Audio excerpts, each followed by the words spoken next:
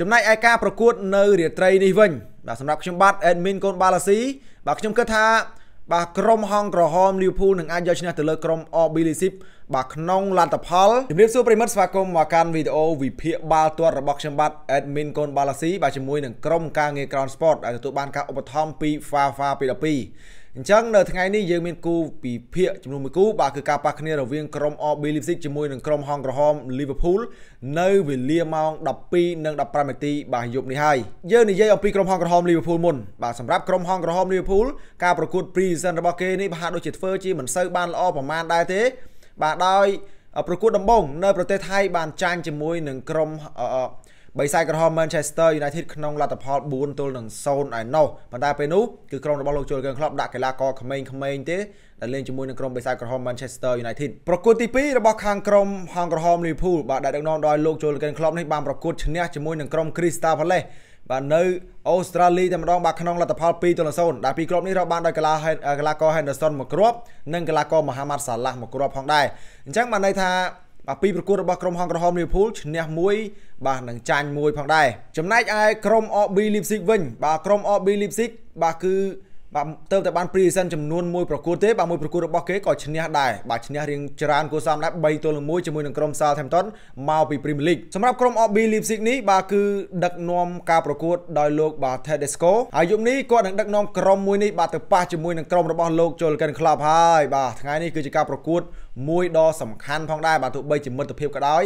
ហើយម៉ោងក៏រៀងជ្រេដែរបងប្អូនម៉ោង12និង15នាទីប៉ុន្តែសម្រាប់បងប្អូនដែលចូលចិត្តមើលបាល់ម៉ោងស្មើនេះវាគ្មានបញ្ហាអីទេបើអត់ជាបញ្ហាអីទេបាទព្រឹកឡើងងើបទៅធ្វើការធម្មតាបានបើយើងនិយាយពីបញ្ហាកីឡាករវិញបាទខាងក្រុម RB Leipzig ដូចជាមិនមានកីឡាករណាដែលរបួសបាទមានកីឡាករសំខាន់ណាមួយរបួសទេបាទសម្រាប់ក្រុម RB Leipzig ប៉ុន្តែសម្រាប់ក្រុមហងក្រហម Liverpool បាទគឺមានបញ្ហាមួយចំនួនដែរបាទគឺដៃទី1តែម្ដងបាទគឺកីឡាករ Alisson Becker បាទគាត់មានបញ្ហា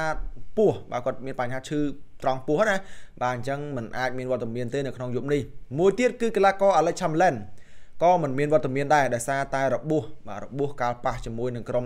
Crystal Palace នឹងឯងបាទគឺគាត់មិនមានវត្តមាននោះទេចំណែកឯកីឡាករមួយរូបទៀតប្រហែលជានឹងអាចមិនមានវត្តមានដូចគ្នាបាទគឺកីឡាករ Diego Jota បាទគាត់មានមានបញ្ហារបួសតាំងវាជួយក្រុមជម្រើសជាតិប៉ូទុយហ្គាល់មកណាមកម្លេះហើយប្រហែលជានឹងអាចរើឡើងវិញហើយមិនមានវត្តមានដូចគ្នា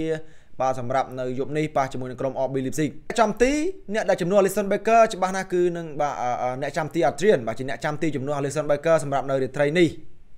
បាទខ្សែប្រយុទ្ធបន្ទាប់ពីអស់ពីពីកីឡាករ Sadio Mane ទៅ បាទនៅកីឡាករ Darwin Nunez បាទ Diego Jota អធិស្ឋានកីឡាករ Luis Diaz ហើយនិងកីឡាករ Mohamed Salah មួយទៀតបាទគឺកីឡាករ Roberto Firmino បាទឲ្យចាំមើលមើលថាតើ4អ្នកខាងលើនេះបាទអ្នកណាដែល បាទអាចចូលលេងតែសម្រាប់ខ្ញុំគឺសាឡាស់100%ហើយបាទបានចូលលេងក្នុងចំនួន11អ្នកដំបូងបាទនិយាយពីក្រុមទាំងពីរនេះបាទក៏មានប្រវត្តិធ្លាប់ប៉ះគ្នាដែរបាទគឺប៉ះគ្នាចំនួន2ដងបាទក្រុម RB Leipzig មិនដែលឈ្នះក្រុមហងក្រហម Liverpool នោះទេបាទដោយ Liverpool បានយកឈ្នះទាំងពីរដងតែម្ដងពលគឺនៅថ្ងៃទីបាទ17ខែ2ឆ្នាំ2021បាទ Liverpool ឈ្នះ2ទល់នឹង0នៅដីរបស់ RB Leipzig តែម្ដង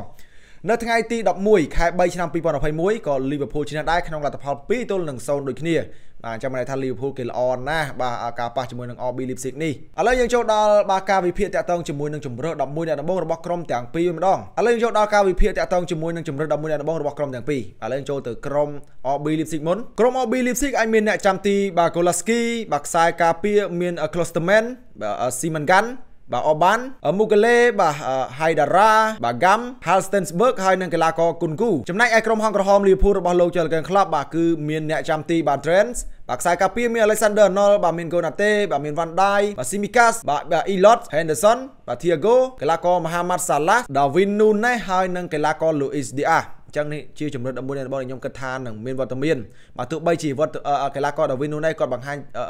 មិនសូវបានល្អក៏ដោយ បាទសុទ្ធបញ្ចូលទីមិនច្បាស់ក៏ដោយប៉ុន្តែលោកចូលកែក្លឹបនឹងដាក់គាត់ឲ្យលេងឲ្យស៊ាំជាមួយនឹងក្រុមព្រោះថាបាទកីឡាករ Darwin Nunes នេះនឹងត្រូវប្រើគាត់នៅក្នុងការប្រកួត Premier League អញ្ចឹងត្រូវតែដាក់គាត់ឲ្យចូលលេងឲ្យបានច្រើនជាមួយនឹងបាទគេហៅថាឈុត A របស់ក្រុមហងក្រហម Liverpool តែម្ដងចំណែកឯការប្រកួតនៅរាត្រីនេះវិញបាទសម្រាប់ខ្ញុំបាទ admin កូនបាឡាស៊ីបាទខ្ញុំគិតថា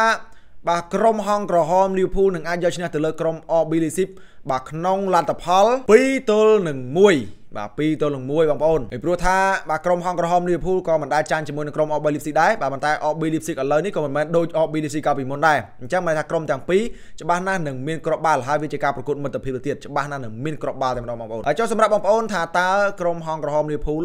បាទអាចយកឈ្នះទៅលើក្រុម OB Leipzig បានដែរឬក៏យ៉ាងណាអាចធ្វើការ comment នៅក្នុងវីដេអូរបស់ខ្ញុំបាទកូនបាល់ស៊ីឡាយទាំងអស់គ្នាអរគុណបងប្អូនបាទយប់នេះចាំជួបគ្នាវេលាម៉ោង12និង15នាទីយប់បាទជម្រាបលា